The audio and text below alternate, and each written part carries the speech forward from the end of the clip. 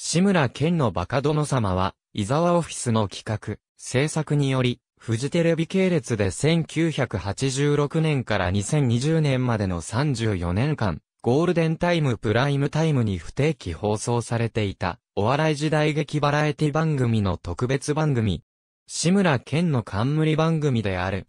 単発の特別番組として、年3回、1月、春の改変期及び夏の改変期、秋の改変期に放送されていた。通称、バカ伝。もともとは、TBS 系列のバラエティ番組、8時だよ。全員集合のコントの一つだった。ここでは特に断りのない限り、フジテレビ系列で放送されていた番組について記述する。バカ殿様のメイク元は1977年に、8時だよ。全員集合中に放送されたコントが初めであり、同時期に、ドリフ大爆笑でもコントを行った。ザ・ドリフターズのリーダーで、絶対的な権力を持っている、イカリア長介と、最年少で、イカリアに普段いいように使われている、志村健の立場を逆転させ、志村演じる自由奔放なバカ殿が、過労のイカリアをここぞとばかりに翻弄するという、下克上コントだった。8時だよ。全員集合。8時だよ。全員集合では1977年頃からバカ殿様が登場した。1980年前後の全員集合では、橋幸を演じる立派な殿様の影武者としていかにも、愚者らしい白塗りの顔の志村が抜擢され、場内で大騒動が起こるという内容のコントが披露された。当時は、黒沢明監督の映画、影武者が話題になっており、橋も、漫才コンビザ、盆地の盆地治にモノマネをされて、再ブレイクしていた。全員集合最後期の例では、バカ殿と女中たちがひたすらファミコンのハイパーオリンピック伝様版をプレイするだけで、明確なオチもなくそのままコント終了音楽、盆回りが流れて終わるというものも見られた。ドリフ大、爆笑1977年放送のドリフ大爆笑第8回での朝寝坊コントにはすでに、バカ殿の原型が見受けられる。最後に落とされたのがなぜか、バカ殿の格好をした、志村で、お前、それはないだろうというオチで、時代背景やその後のバカ殿コントとは、別物ものだった。その次に、バカ殿が登場するのは、第19回で、過労や腰元たちを引き連れた設定が見られる。以後頻繁にバカ殿コントが行われるようになる。他の初期の例では、例えば第35回では、イカリアの過労や中本浩二の家来、女性ゲストの腰元たちに囲まれる、志村のバカ殿という基本設定が固まったコントが見られる。その次の第36回では、女性ゲストによる腰元が、松田聖子、桜田淳子、ゆき沙織となり、雪や小柳が19歳や16歳などと年齢を詐称する、バカ殿や腰元たちがへにまつわるギャグを披露するなどがパターン化していく。派生番組、ドリフのクリスマスプレゼントでも、バカ殿様のコントが行われた。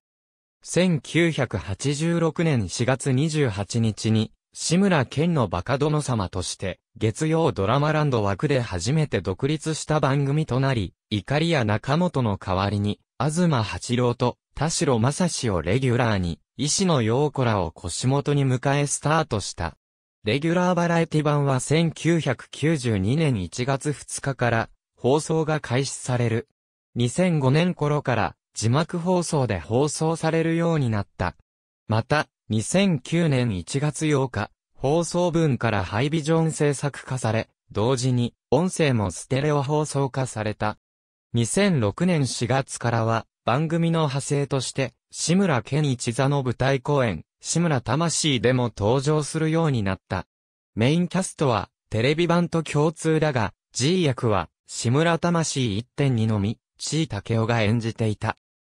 放送開始から20年以上続く人気長寿番組である一方、お色気や下ネタの多い番組内容もあり2012年度まで実施していた子供とメディアに関する意識調査の親が子供に見せたくない番組では2009.2012年度3位、2003.2008-2010.2011年度4位、2004.2006-2007年度5位など、上位常連となっていた。お色気ネタは、初期の頃に顕著に見られ、放送時には、毎回必ず女性の裸体のあるコントやゲームが行われるのが定番となっており、当時数多く放送されていた、志村のコント番組の中では最もお色気要素の強い番組であった。しかし、90年代後半から活発になってきた、規制の影響を受け、かつてのような胸の露出を含むお色気ネタは廃止され、末期は露出が最小限に抑えられたお色気シーンが時折見られる程度であった。2000年代後半以降は、コントのほか、ゲストを迎えてのゲームやフリートークで構成されており、2010年代以降は、それまであまり使用されていなかったなぞりテロップもトークパートで使用されるようになった。変なおじさん、いいよなおじさん、江本明とのコントなど、志村けんの大丈夫だから派生した企画も定番化していた。2006年以降は原則、新年、春、秋の年3回放送となっており、新年と秋は新作、春は過去放送分の傑作戦となっていた。2011年2月6日より CS のファミリー劇場にて2001年1月の回から2007年の回の再放送が行われている。バカ殿を演じるときには独特のアクセントや言い回しを使うことが多いが、志村の郷里の玉弁や親戚の使う福島弁が元になっていた。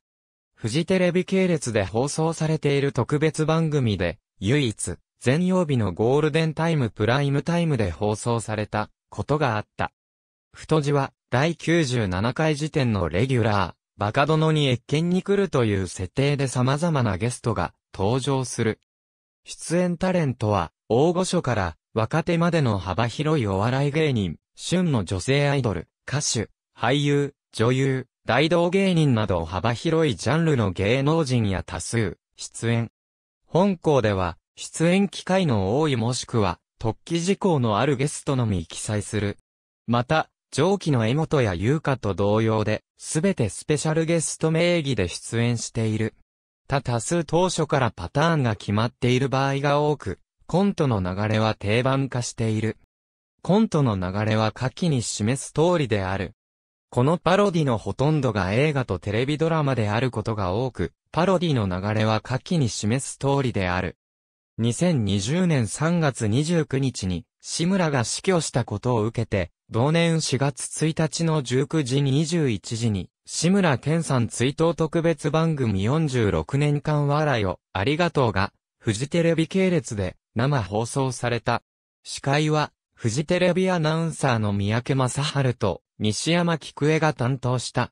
ゲストに、ザ・ドリフターズの高木ブー、中本浩二、加藤茶、健直子、石野陽子が出演した。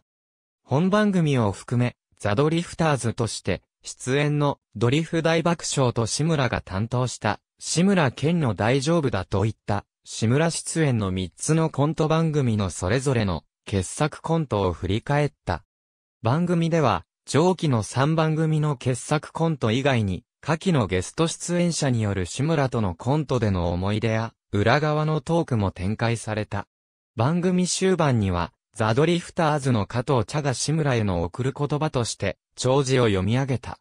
エンディングでは、スタッフロール以外に、志村けんの番組に出演してくださった皆様として、上記の3番組の主な歴代出演者が流れた。そして、番組の最後には、志村けんさん楽しい笑いをありがとうございました。安らかにお休みください。のテロップが表示された。平均視聴率は21.9%。瞬間最高視聴率は20時48分の27.3%だった。また、関東地区以外の各地でもそれぞれ高視聴率を記録した。ありがとうございます。